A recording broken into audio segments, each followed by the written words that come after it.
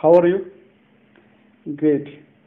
So it's very good कि आप लोगों का क्लास सेपरेट हो गया है और इसका बेनिफिट ये है कि एक क्लास में बस uh, कुछ ही बच्चे रहेंगे और सिर्फ़ क्लास फिफ्थ के ही इसमें बच्चे रहेंगे तो इससे क्या होगा कि आप लोग पर्सनली पूछ सकते हैं टीचर से टीचर भी बता सकता है तो ये आपके लिए बहुत ही बेनिफिशियल होने वाला है ठीक है तो हम स्टार्ट करते हैं पहला कि क्या क्या पढ़ना है हमको, ठीक है? तो देखिए, हमको क्या क्या पढ़ना है। अभी का जो है, पाँच सेक्शन है। जनरल वोकेबलरी पढ़ना है, ठीक ना? जनरल वोकेबलरी पहला है यूजफुल वोकेबलरी सेकंड है एंटोनिम्स पता होगा आपको डिटेल्स में पढ़ेंगे चैप्टर में। सिनोनिम्स भी आपको पता है। नेक्स्ट इसको डिटेल्स में पढ़ेंगे चैप्टर में। होमोनिम्स क्या होता है? ये भी पढ़ेंगे। और वन वर्ड सब्सटीट्यूशन क्या होता है? इसको हम पढ़ेंगे। ठीक है? तो स्टार्ट करते हैं। आज पढ़ेंगे हम यूजफुल वोकेबलरी ठीक है ना?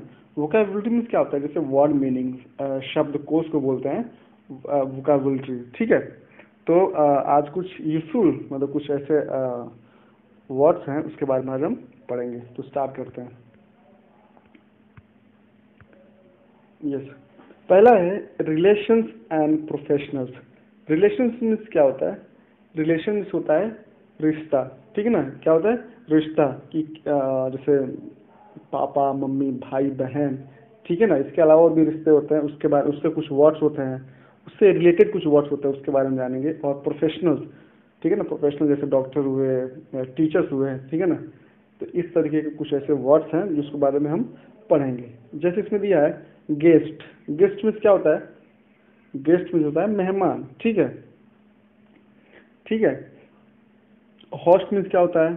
हॉस्ट मीन्स ऐसे, ऐसा कोई ऐसा मैन और वुमेन इनफैक्ट मैन ही होता है जो कि स्टेज पे आए और उस सभा को होस्ट कर, के बारे में बात करें। ठीक है? टीचर हुआ डिसिपल हुआ मर्चेंट हुआ, इस सब का जो मीनिंग है ना, मुझे आप लिख के देंगे।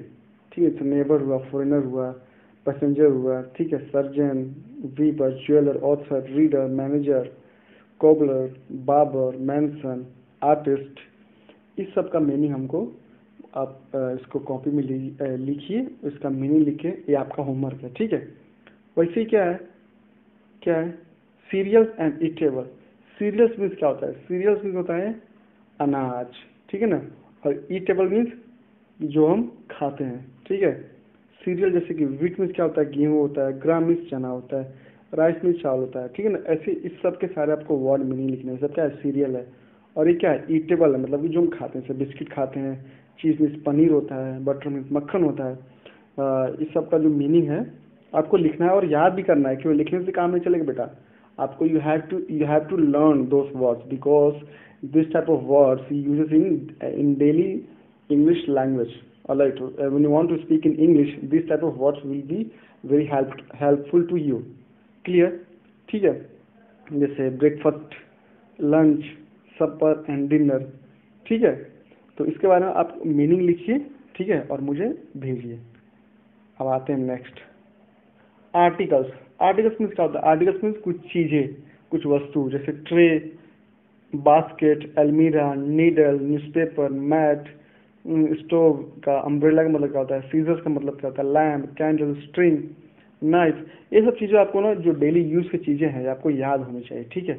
अगर आपको इसमें कुछ भी नया लग रहा है तो इसको याद कीजिए कॉपी में लिखिए मीनिंग के साथ। क्लियर है? इसका भी आपको मीनिंग लिखना है और इसको याद भी करना है, ठीक है? हाँ सर, ठीक है। अब आते हैं नेक्स्ट में। ये थोड़ा कॉन्सेप्ट अच्छा है। सर नया आपको जानने मिले। Cries of animals and birds कह रहा है क्राई मीन्स क्या होता है। क्राई मीन्स रोना या फिर चिल्लाना। ठीक है ना? तो क्राइस मीन्स चिल्लाना ऑफ़ एनिमल्स एंड बर्ड्स कह है एनिमल जो जानवर होते हैं और जो भी बर्ड्स होते हैं, वो कैसे मतलब अपना आवाज़ निकालते हैं? ठीक है? तो उसके बारे में बताया। जैसे बिल्ली क्या करती है? बिल्ली म्याव करती है। ठीक है? वैसे ही अलग अलग जानवर के लिए हम अलग अलग इंग्लिश में वर्ड यूज़ करते हैं।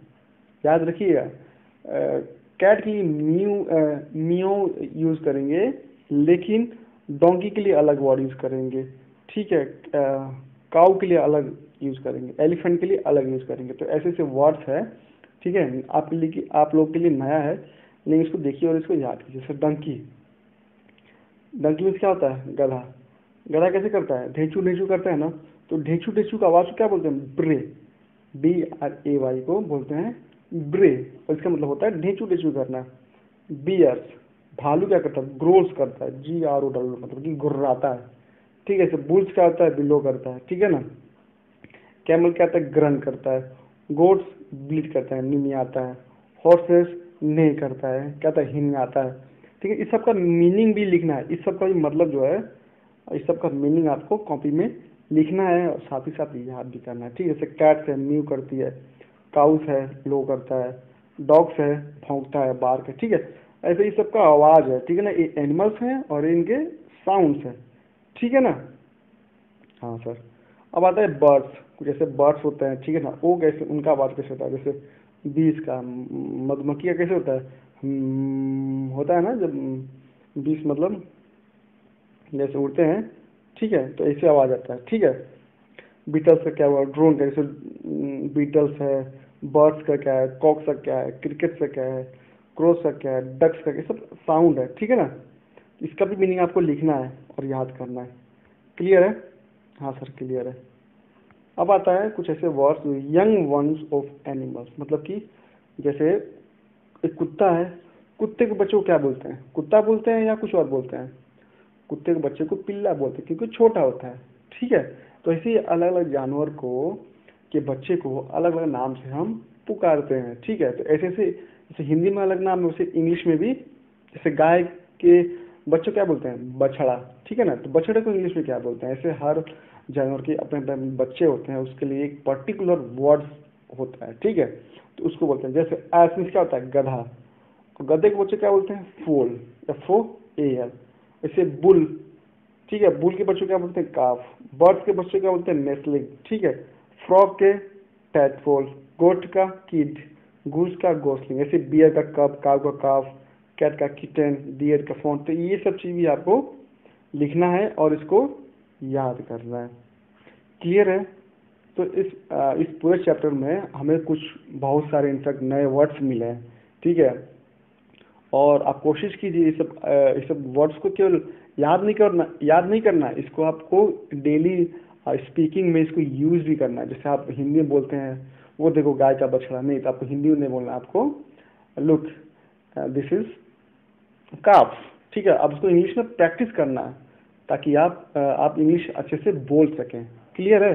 तो ये इसमें बहुत सारे ऐसे वर्ड्स हैं, जो आप इसको डेली यूज़ में इसको यूज़ कर सकते हैं। क्लियर है ना? और होमवर्क क्या आप लोग का? कि इसका मीनिंग लिखिए और मुझे भेजिए। ठीक है? और मैं आपसे पूछूँगा, जब भी स्कूल खुलेगा तो मैं आप सबसे इसका मतलब पूछूँगा तो आपको याद होना चाहिए। ठीक है? हाँ सर ठीक है। वेरी गुड तो फिर आज के लिए इतना ही आ, मिलते हैं फिर नेक्स्ट वीडियो लेक्चर में। Thank you so much bye take care